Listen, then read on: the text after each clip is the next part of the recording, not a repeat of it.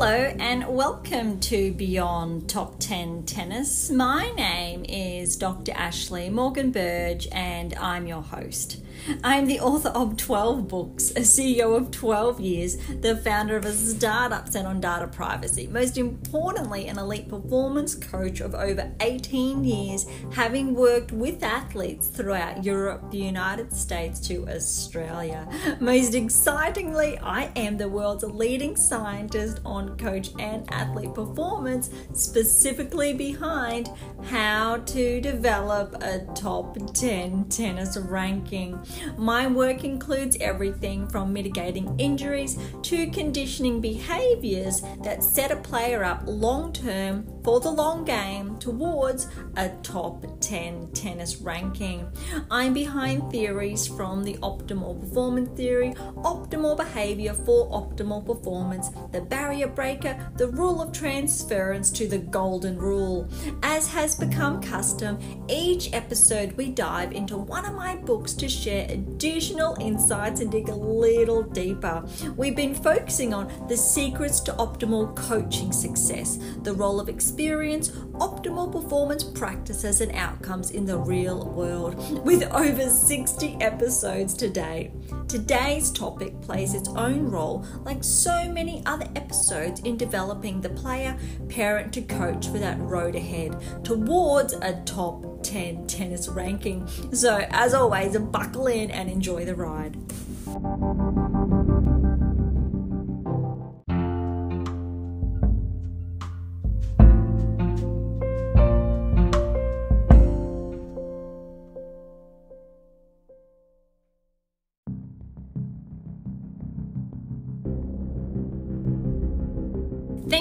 So much for joining us today. I look for those of you who celebrate Christmas, irrespective where you're based around the world. I hope you've had the most wonderful Christmas ever. Uh, for those of you who don't, thank you so much for tuning in. Um, all the same, but I really wanted to um, start with that one because this episode will be coming out a couple of days after Christmas and it is being recorded prior. So it's a little bit odd in that respect when those times do uh, come up. But all the all the more uh, important, I think, to just wish everyone, all, all of my listeners, whether you you are new or you've been with us all year, thank you so much from the bottom of my heart, and I wish the absolute happiness and uh, to you and your family and loved ones. Um, so, thank you for bearing with me and sticking with us throughout the season. Look, t- today's episode, I wanted to, I think, focus especially on not not just today's um, core topic, but those of you who are familiar. Um, the, the release of how to develop a top 10 tennis ranking, it has only been not even three weeks. So it's less than three weeks since its launch. So it's, a, it's about two and, a, two and a half at this stage. And oh my goodness, thank you so, so much. But if you are new, I really want to encourage you to get your hands on it, especially with the 2024 season. Well, it's just, it's a few days away. But more so on that, it's so important with this new season. My hope and wish for each and every one of you for this coming season is to really uh, uh, grab a hold of those eight keys and cement them into your game. Because, irrespective of, I think, what your core objective was this season, so for the 2023 season, and the inroads you made, if you want to uh, gravitate even closer and progress closer towards that top 10 tennis ranking, please grab hold of that. Obviously, these episodes really do serve a purpose, and that's what Beyond Top 10 Tennis was built for and is all about irrespective where you are on the pathway or the long game. And so that's for every single child who is a club player or academy player out there. You could be 8 years of age, 18 years of age, or somewhere in between, or more so if you are on the WTA tour or the ATP tour it, it's so much more powerful as as well. So I, I like to share that I accommodate both ends of the performance spectrum because I think that's something that's um, overlooked and often forgotten. Because at the end of the day, if you want to develop a top 10 tennis ranking, you need to know how, uh, but also you need to know how to stay there. And my latest release really, I think, underlines how to get there and to stay there. But more so, I think the What is Your Game Missing series showcases how what, what it really takes from a technical perspective as well to not only achieve a top 10 tennis ranking, but to stay there. Whereas this current uh, text, The Secrets to Optimal Coaching Success, really shares or underscores how I can make sure that not only you're going to progress towards a top 10 tennis ranking, but you're learning those fundamental skills required um, to attain a top 10 tennis ranking within that 10 to 20 year pathway. So, recall I am your tennis coaching guru for those of you who are familiar with it. And it really has that 10 year initial pathway, especially if you are, uh, say, 8 years of age towards 18 years of age, for example, that really sets the stage then for the second 10 years of play, we term it as. So when you are or you have turned professional, so you progress from, you know, uh, the junior ranks to the senior ranks, which really is a part of what today's topic uh, is all about. But when you're making that transition, so many players um, they fall by the wayside, in manner of speaking, and th- there are reasons why, and it's incredibly disheartening because we've touched on it previously. The argument really is if you're winning junior grand slams, what's stopping you from progressing to win grand slams on the WTA or ATP tour? And really, there shouldn't be anything if you've been integrating and implementing the, the rulers, the key technical parameters we've, we've touched on, and most importantly, the eight keys. And I think on that, um, those of you who are familiar with the eight keys, or those who are familiar with just a few, or those who have no idea what I'm talking about, it's it's okay irrespective of where you're at, but it also reflects your current ranking. And so, what it really comes up with is that over the last 11 years, I've spent uh, extensively, uh, we can call it investigating, researching, scientifically unraveling, just everything I think encompassed within that. And we've had a few episodes around this, and it got me thinking because I was talking to someone um, over the weekend that's just been, and how, how I explained it to them was science is science. So, science is factual, and which essentially means it's not something you can argue with, it is fact. Um, which means it's, it's been extensively investigated. You've got all these um, different data sources coming in, and which shows you that ultimate endpoint and you can look at that on a micro scale, a macro scale. It's perhaps akin to someone saying who are the current top 10 players, and you look at the current rankings and you go, there it is. And then another person might say, no, that, that that's not it. And you're it's right in front of you and you're looking in your sources then are they exact obviously the WTA ATP the points etc and then if someone says to you no that's not it you, you potentially going to be quite dumbfounded because it, it's right there in front of your face. That's one example. Uh, the other example is that you could say um, you graduated high school and truthfully you did, and you went on and did an undergraduate degree at university, and you're really proud of yourself because you know there's a lot of work involved in that. And then the, the another person comes along and you share that with them, and they say to you, "No, you didn't." And you said, Well, no, I, I did. I've got the, the proof. This is all the work that I did. That's another. Hopefully, you see where I'm going, so I, I won't continue with those examples, but they're everywhere.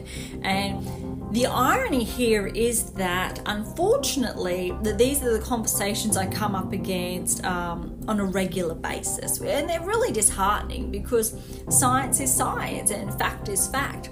And it's often not believed and that's what's so staggering about this is that it's so exciting to be able to share it is that we have the data that showcases that this is fact this can be po- it's actually a world first to have a pathway for that eight year old to follow towards a top 10 tennis ranking. It's a pathway for that top 20 player to know how what their game is missing to allow them to cross the threshold into the top 10. It's the same for a top 200 player to know what they need to do to break into the top 100 to ensure they're obviously getting even closer and closer to ensure their uh, entry into grand slams throughout the year, which we all know is so incredibly important.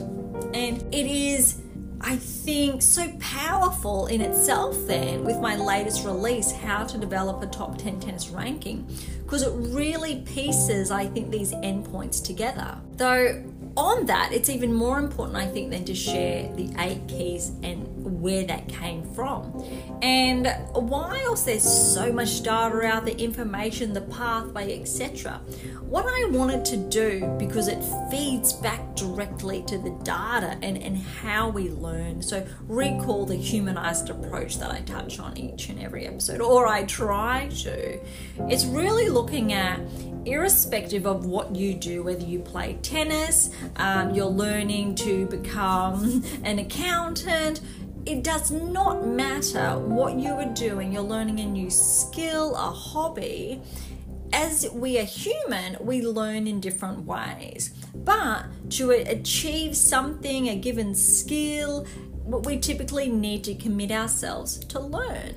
And as individuals, so here's that humanized approach we learn in different ways and i've touched on that in, in different and varying episodes as well and so what this does is something that no coach education provider globally has done before as well. So this is what this is what makes it even more powerful. It accommodates that. It, it it goes okay irrespective of how you learn we need to figure out what that means to you and and, and that's a uh, schematic and now we're going to say have a triangle, but let's flip it upside down. Because at the, at the very tip of that triangle, um, or de- depending how you want to look at it, is that top 10 tennis ranking. But also beyond that is Grand Slam championships, how to achieve replicated success, which is more than one Grand Slam, which means, yes, we've got the data that underscores why Djokovic, for example, continues to win Grand Slams.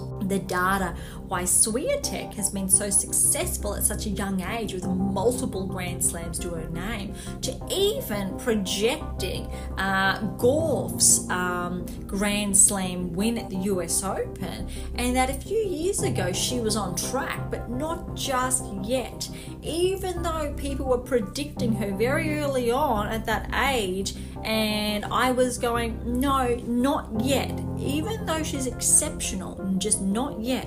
Give it that two, three years, which ended up it ended up being, because that's when she was prime to peak and we do have episodes around you know those uh, performance cycles uh, uh, those patterns periodization etc but also when we're looking at discrete skills serial, serial skills. Um, but what is inadvertent throughout all of our episodes and all of these texts is that coaching pedagogy. And it's a really big i think buzzword in education to varying i think scientific um, literature, etc. But essentially, I view it as, and, I, and this is how I encourage you to view it as, it's your moral compass. It is how you learn, how you talk to other people. If um, you you're on the same wavelength, different types of understandings. So it's quite diverse in that respect. But I, I won't elaborate any further on that. But so becoming a top 10 tennis player or progressing towards it is so much more than how you play the game. Um, I think most alarmingly, something a very recent um, came to light, and it was on social media. And I am a bit cautious to, to share this, but I w- will just share th- those uh, my two cents is that Simona Halep unfortunately has been banned at, at this stage, etc., for um, being found with XX in her. Um, I won't go into it, but we know anti-doping, etc. Around those who are not familiar, Google will, will fill you in. But please do your due, due diligence her coach at the time, which I, I won't name, but again, if you go to Google, you will see, and unfortunately, they were responsible for supplying Halep with what was found in her blood sample, which is not permitted under you know anti-doping regulations, etc., etc. But what is, I think, more upsetting from an ethical coaching standpoint. Because recall that um, I am so proud to be a coach as well, and that I have worked with athletes around the world, um, junior development through to high performance, through to elite. And having a coach at that uh, caliber or that level not standing up for his athlete very early on and taking responsibility and being accountable is very upsetting because this athlete, Simona Halep, has essentially been through this by herself when there was so much trust in, um, shared with that coach and or coaching team. And for it to now have been, I, I want to say, over 12 months or almost since the initial ban and or everything that happened, and for it only to come to light now is very upsetting because we know the harm that has happened to that player's uh, integrity, career, and we've also had episodes on mental health. And those of you who are, who are familiar with me, and but also, you know, the earlier episodes around that, mental health is incredibly important and to be managed for that athlete's well-being and we have some, had some athletes speak up. And Osaka, I think, is first that comes to light, and I think got a lot of um, negative um, feedback, which is very disheartening because, again, with that humanized approach, every single person out there, whether they want to admit it or not, has something um, to do with their mental health that they need to manage. And whether you manage that through your fitness, um, going for a run daily, going to the gym, going for a walk to get some fresh air, um, setting those boundaries, irrespective, your mental health is front and center. And it has been around for such a long time, but under different words, whether it's your mental strength, your mental toughness, your mental conditioning. And again, I've touched on this in previous episodes. Now, I think mental health went through a very uh, big period, like this, for the last almost 20 years plus, that it was a very negative, very bad st- stigma around it. And I think only in the last, you know, two, three years, uh, courtesy of COVID, I would say, has the discussion been more widespread, but in a more positive light, is that it's really your well being, your health and well being, and which obviously your mental health falls under. So, those of you who think there's a negative connotation there, I really want to help you lead the way with me to switch it to it's your it's encompassed in your well-being your health and well-being and it is obviously your mental emotional and physical health which we obviously can manage in different ways so what i'm saying here though is that there are so many negative repercussions there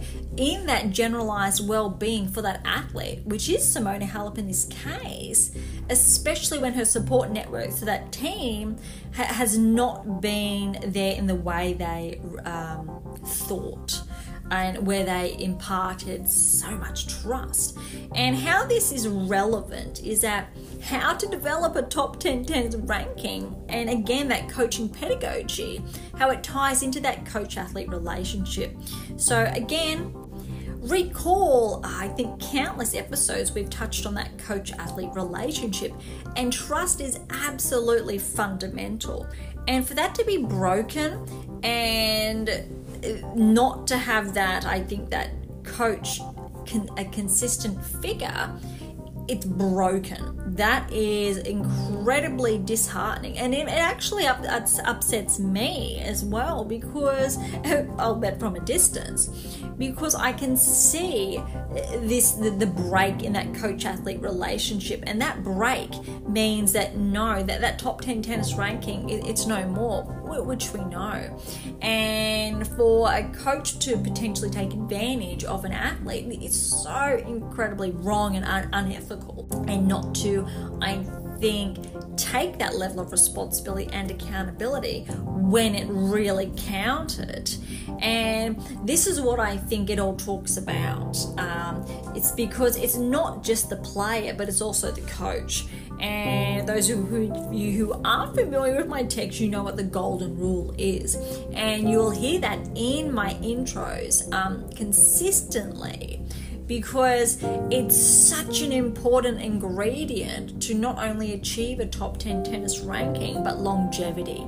So we have a number of players who stay inside the top 10 for more than one year, two year, five years, uh, eight years, etc., which is absolutely staggering compared to a lot more players who regress after one season or two seasons.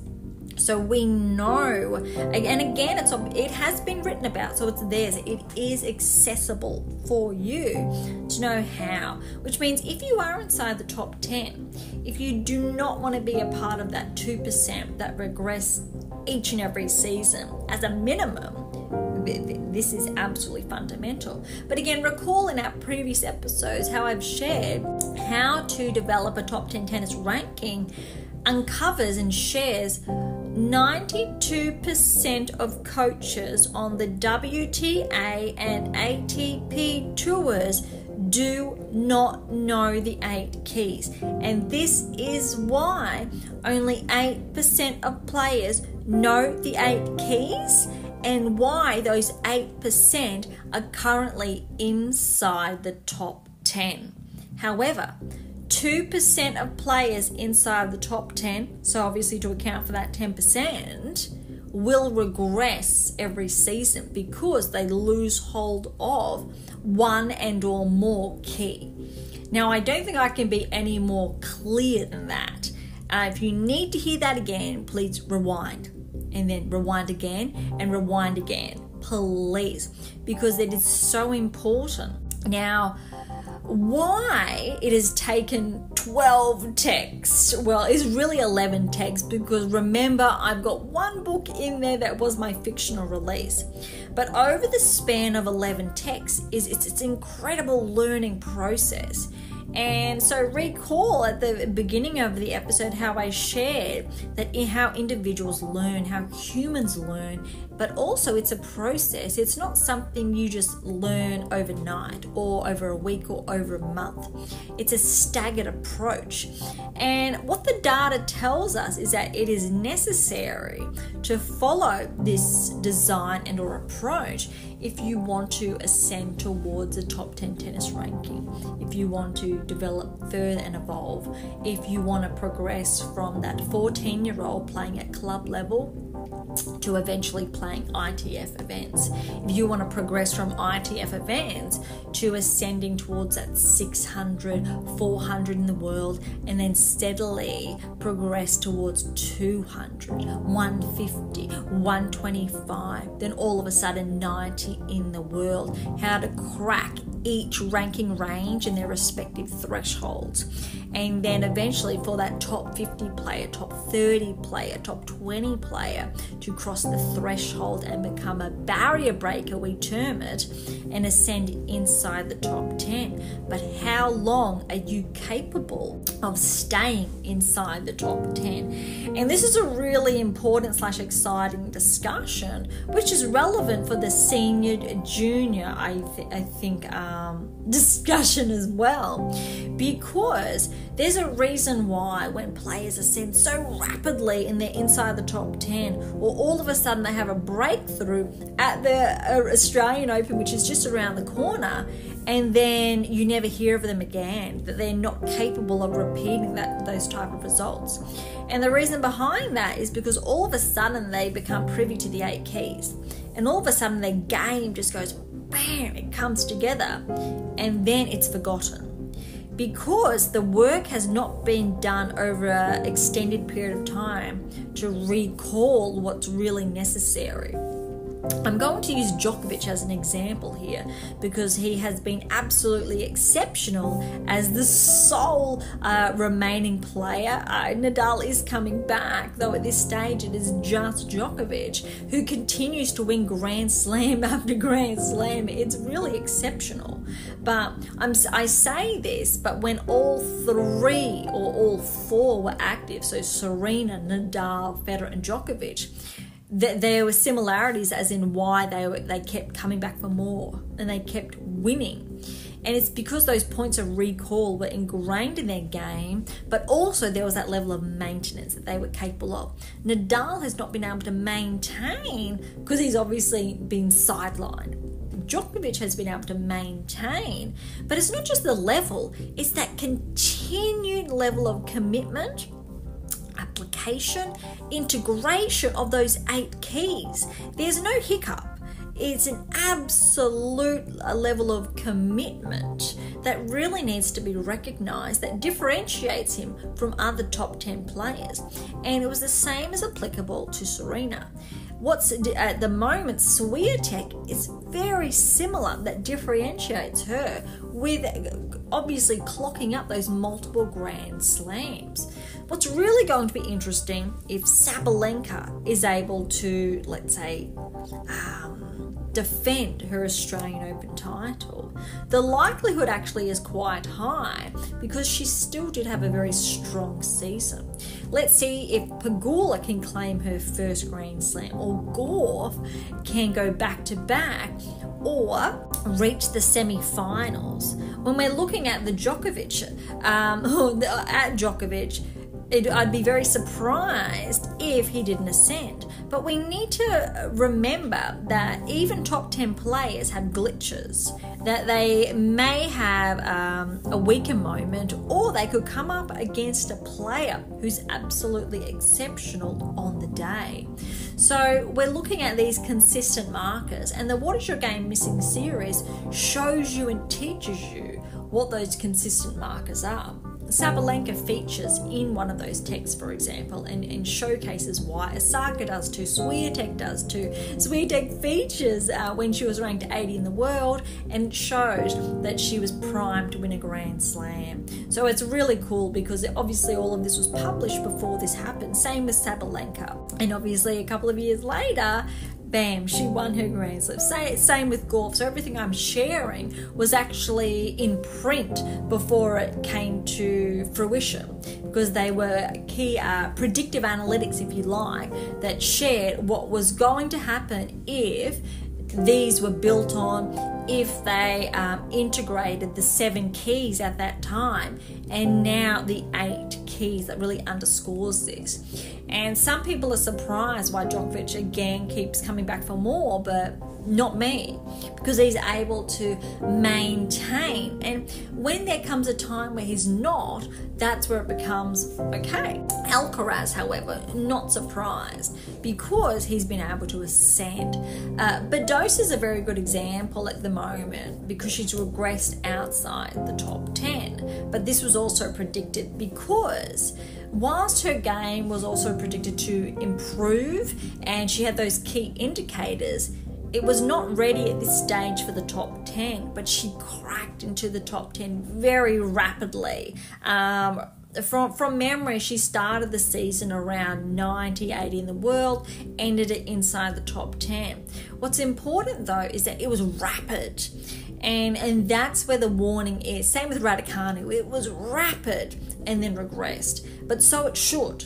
Because we want the regression so then we can have the steady progression. Or on the other side, we want the very steady progressions, but the danger is when it's rapid fire, is that you need to maintain that. Do you have the tools to maintain that? Now, the eight keys and this volume of work now with these 11 tags shows you how to maintain it. So, if you are one of those rapid fire players, please get a hand on the collection because we want you to be able to maintain your hold. If you regress, that that's okay. Let's get you progressing again. Um, hopefully, with what I'm sharing, I have been simplifying the how behind it because at the end of the day, how is is absolutely fundamental. Now let's draw the discussion back then to the, the seniors and the juniors and I think the transition. Because the pressures obviously synonymous and it's also universal. Irrespective if you're a top 10 junior player to a top 10 uh, professional player um, there are varying amounts of pressure and I would say in equal amounts because of the given age. Because obviously, as you get older, you know how to manage that better. Um, what becomes problematic is for the younger players. So think Swiatek Alcaraz, who were in their teens when they ascended into the top 10. They were in their teens when they won their maiden Grand Slam championships, which means you have a very steep learning curve to be able to deal with that pressure and you really rely on, that support network around you. And we do have episodes on that triangular approach, for example. Um, but what's really important is that we it's also evident for those players who succeed very early on in their teens and then regress. Um, from the top of my head, I'm trying to recall the player. I want to say um, Puig when she won gold at the Olympics. There was it was quite surprising, but that level of play was not being able to was unable to be maintained. Penko when she won her Grand Slam, that was wow, it was not expected at that time. I recall my data was not tracking that at that given time. But again, that was somewhat surprising um, when we're looking back on that. However, that level of maintenance at that time was not. So it was almost a shock to their system for, for that player. However, what that player has been able to do, they've been able to progress again. So they did the work and they learned how to maintain. And oh my goodness, is Ostapenko a dangerous player now? These are just examples that have come out of the woodworks as a matter of uh, just a colloquial expression. Now, we do have some ATP Tour players who have done that, but it's more uh, inconsistent. Uh, Kyrgios, for example, I think has to be a favourite progressing to the Wimbledon finals. That was not necessarily anticipated. However, he has been a player for an extended period of time that has very powerful aspects of his game that if they just found their way, if they were maintained and sustained, it was definitely on the card. So it wasn't necessarily surprising that he did make the final. However, for that player to maintain that throughout an entire season, that's yet to be seen. And that's, I think, what, what we're talking about. is that level of maintenance, we term it. So, throughout an entire season, a top 10 player typically should be making the round of 16 or further at every single Grand Slam. Which means so this hopefully will perk all those ears up whether you're in the top 10 progressing towards the top 10 irrespective of where you are or you're one of their coaches or part of their team. And the message is loud and clear. Round of 16 at the Australian Open Police if you're a top 10 player and you're not making the round of 16 at at least three out of the four. It should be four, but I'll give you that leniency for a hiccup. Three out of four, you are a part of the 2% that will more likely be displaced throughout the season, and rightly so, because players not inside the top 10 who are capable of making a round of 16 or further, watch out.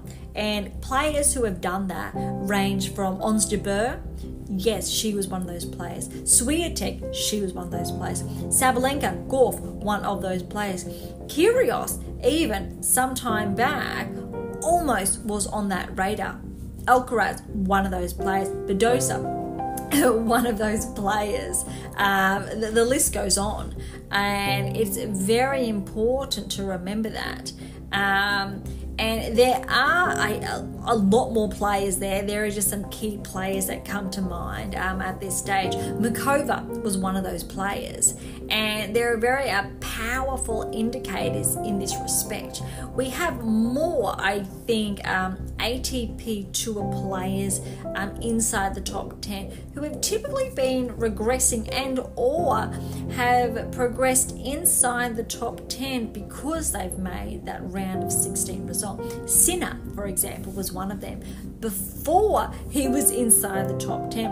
Shapovalov, um, yes, um, Felix, I'm going to say. I'm not going to try to say his last name because I'm going to mispronounce it, and that would not be very um, respectful. Both of those players one of them. Once upon a time, Raonic was one of them consistently before obviously he was sidelined, but I think he is coming back at um, this year's tournament. So there's a number of players, and it's not just one or two or three. These are key markers we're talking about that I don't typically share. However, they are available in the What Is Your Game Missing series uh, quite extensively across both tours. And what's so important, I think, now is that let's touch on why we're not seeing um, the same level level of pro- progress or the same um, ascension from a junior uh, grand slam towards a senior. Now, as I shared on, I think early in today's episode, is that when you're looking at that transition, we go those that initial 10 years of play. If that player has not been set up for that second decade of play, of course they're going to drop off, and that is why we see so many juniors that are really good, they're really solid, they're winning those junior grand slams, but you know what? They are unable to crack the top 50. They will hover. They will they will get inside the top 200, top 100 typically, but rarely do they ascend past top 50 let alone the top 20 and that this is a really important statistic uh, more alarmingly though is that why? Why are these players unable to? However, we really need to remember, and I've touched on this in previous episodes, is that a lot of these players end up getting injured because they do too much too soon in that 10 years, and longevity is not even of discussion. And I cannot even tell you how many players I see under 18 years of age who are already taped up on court on a regular basis, and it's been normalized. But I can tell you what, the likelihood of them making it um, into their second decade of play or to the end of that second decade. So, for argument's sake, let's say the second decade starts at 18, so it goes 18 to 28. You will typically see by the time they're 24, 25 that they've regressed and or that no they, they are not able to maintain that level throughout their you know 25 26 27 and they go back. And or typically in their early 20s so 22 23 24 there's some type of big injury and type of surgery. And look again with that humanized approach it is not normal. It is not normal, I will repeat that, for a 23, 24 year old to need surgery that early on. If you are a 34, 35, or in your early 30s and you've been playing at the top level, inside the top 20, top 10 for an extended period of time, then we can look at potentially something needs to be done. Andy Murray is obviously a prime example um, in that respect, unfortunately. Del Potro, unfortunately, um, those things did happen and they do happen. Federer, even at the end of his career, and Nadal, who has endured different ones throughout his career. And I'd say Djokovic has been quite lucky in this respect although there are different reasons why and also recall in our previous episodes uh, we did touch on genetics and also the levels of susceptibility in this respect back to the juniors though what happens is that a lot of these coaches when they're working with a junior they over train them. They overrun them. They're not looking at those peak performance patterns. They don't care about that second decade of play. They want peaks now. Parents are also guilty of this. And so the parents out there listening, remember the triangular relationship. Touch on previous episodes to catch up on that, but it's also your responsibility, the parents and the guardians, to safeguard that child. That you, for the coaches out there, it's also your responsibility to put their safety front and center. If their passion for the game is there, it's not going to kill them to take an extra three, four years to progress towards the top 50, top 20. Um, head on over to AM8 International, look at the long game and the markers there. Between 18 years of age to even 30 years of age, there are markers on what it takes to progress from, say, 800 in the world to 500 in the world and there are clear markers from you know 100 to 50 in the world etc and time frames and so we're looking at that one to two years per. So we're looking at if you allow yourself that 10 years or 5 to 10 years these are just baseline figures and it is shared in i'm your tennis coaching guru and the seven keys to optimize your life and how to develop a top 10 tennis ranking that you can fast track once you have a level of maintenance and a steady level of uh, progression. However, what we want is that for it to be steady and progressive.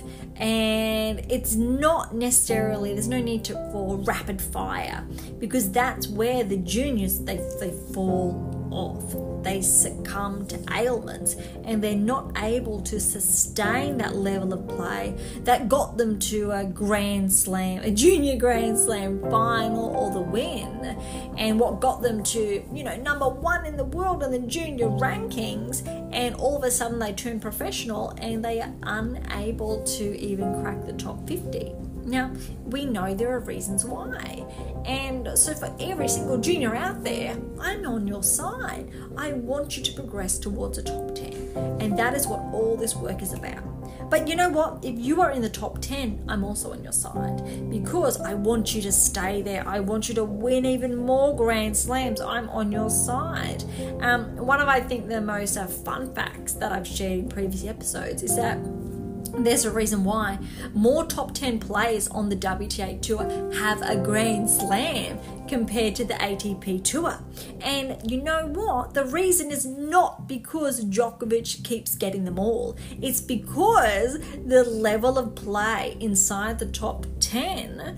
Um, on the ATP tour is not, I think, an equilibrium of sorts, uh, in a manner of speaking. It's because those eight keys that Djokovic has a, a, a, hold of, you've got top 10 players that do not have a hold of those eight keys. WTA Tour, you've got more players who have a grasp on the eight keys, um, in contrast to uh, those that do not and it's a really powerful discussion to be had. Now, I think this has been a lot to begin with, um, and I'm, I'm really happy with, I think, the depth we've been able to share. But before we close off today's episode, let's just share, I think, a, a little bit from the, the, section on performance pressure, junior versus uh, senior. Now, if you want to follow along, we are on page 99. Entering the ranks of the sporting world is no mean feat. often overwhelming for the majority of players and or athletes, there is a transitional phase that allows this performance pressure to settle. Yet this is dependent on a variety of factors, mainly coexisting with age and performance expectations. Now I think the last bit there, performance expectations is the big one. And recall again that triangular relationship and what those expectations are to the long game. Are you expecting rapid fire? Are you expecting that, you know, from top 100 through to top 20 in the space a season? Or are you giving, I think, that leg room going, let's get to 50? If if you get to top 20, that's a bonus.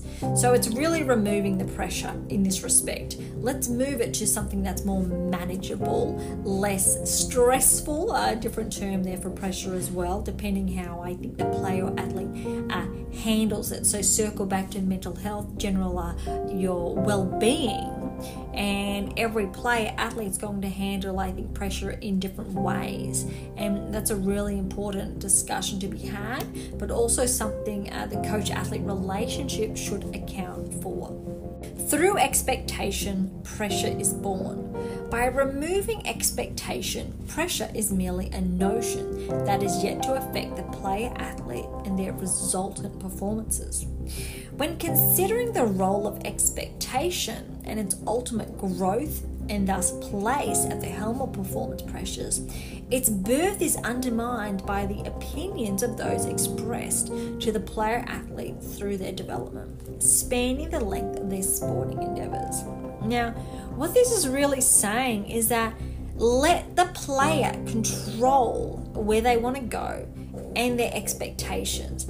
And then it should be the coach's responsibility to mitigating uh, to mitigate that level of pressure, not the other way around. It's not about the coach setting the expectations, or the parent or guardian setting the expectation, or the sponsors setting the expectations. Let the player set the expectations, and then for the coach to manage the pressure. So it could be top 200 to 100 in the space of a season. Sure, this is achievable, but as your pressure. Let, let's look at the ratios involved there that we previously, I think, touched on. Let's look at those peak performance cycles. Um, and it's not necessarily a discussion about the likelihood. It's let, let's get to work, let's make this happen. But you know what? If you're not um, inside the top 100 by the end of the season, it's okay. Let's reflect on what happened, why this wasn't attainable, but let's go for it again next season. Or even better, let's solidify the eight keys into your game so we know it is not only going to happen, but you're going to continue to progress inside the top 100 in the next two, three, four, five years towards to, until you progress towards the top 20 and ultimately the top 10 it is possible. That's the most exciting part about how to develop a top 10 tennis ranking is that it's finally here. Often the notion of pressure is kept for the senior players or athletes, those who have been successful enough in their sport of choice to form a career as a professional player athlete. These are the athletes or players the world watches in detail at World Cups, Grand Slams, and or Grand Finals, and so forth. These seniors, in turn, become icons, idols, and carry the weight of their sport without reprieve on their shoulders. This is a very, I think, ironic discussion because we need to remember professional players and the topic of senior is very, or should be, very loosely used. And I say that in respect to you have senior professional tennis players as teenagers these days. So remember that humanized approach. If you're not a sporting um, professional and you are 18 years of age, no way is your maturity level the same as a 35, 40 year old. We, we know that and you have um, adults who are in their 30s uh, who have become parents, for example, and they're considered as, as senior, um, but by no means senior as in life. Uh, so we're looking at adults. So, ironically, when we look at the adult tour, the professional tour perhaps is a better way of saying it. Still, if you're the 18, 19 year old, you are just at the beginning. You, you are so young. And when you have all that pressure on your shoulders and you are that role model, it's a very uh, treacherous path, in a manner of speaking, if it is not managed um, accordingly. That's why it's so important to have a really healthy coach athlete relationship. And I think what's so um, impressive here in the best possible way is both Swiatek and Alcaraz had been with their coaches and still are for an extended period of time before they cracked the top 10 and obviously ultimately went on to win their respective grand initial grand slams. Um, obviously Swiatek's leading the way in that respect. But it's the longevity there. And that's a really big secret that's wrapped up in these books and we do have some rulers, wink wink, around there, which is so important because you obviously have that level of trust. So that's circling back to that earlier topic. There's also that guidance to keep you on the straight and narrow in a manner of speaking, and all that adult figure that is a constant along, I think, who's consistent in that triangular relationship to make sure um, I think you are on the pathway and you're progressing through the long game uh, not only towards that top 10 tennis ranking, but they have your general well being, hopefully, uh, front and center. And I think we're going to finish on that because we are getting towards the end, and I really want to share more insights on this later on. But again, when you're looking at the senior to junior and the transition there, and the discussion around a senior player still being a teenager, obviously that's not always the case, but you still get uh, senior players in their early 20s, which is again, or even their late 20s. And again, that humanized approach. We know in the real world, and I say that with um, air quotes, that know that that's not necessarily how it needs to be viewed. So there's a very big stigma around it. And the pressure, I think, is at times unwarranted, but I think that's also the nature of sport and how it needs to be managed and why it's so important to have a support network around you, one that you can trust and that can help guide you. And why, when we're looking at how to develop a top 10 tennis ranking, it really is the player and the coach and the team. It's not just a one uh, person show. And I think on that, I wish the coaches would get um, even more credit, looked after even better, because we have the data that also shows that it is not just the player responsible for obviously um, achieving that top 10 tennis ranking, it is the coach as well and especially when it is um, long term and that's on their side and it's not just a six month contract for example. It's even we know it's even more powerful and we do have the data that backs that which is even more exciting. Of course that's not to say those those one-off occasions where it could be that three months six month that is equally i think very powerful um, depending on obviously that age of that athlete and or their background and or if they've come in temporarily and or at a key stage which, which we know. So this really is a discussion on the younger players the longevity when we're talking about pressure. So I want to be very uh, explicit or clear. That's where the conversation is around. That's very important because there are other markers that support um, those shorter term appointments. Um, that that is something to get in um, later on. So look, at the end of the day, if you're looking at heading towards that top 10 tennis ranking, how to develop a top 10 tennis ranking is for you, um, especially this season. The Australian Open is just around the corner. And look, I wish for each and every one of you this new year, which again is just around the corner, to progress closer and closer and nudge and ascend further, closer ah, towards that top 10.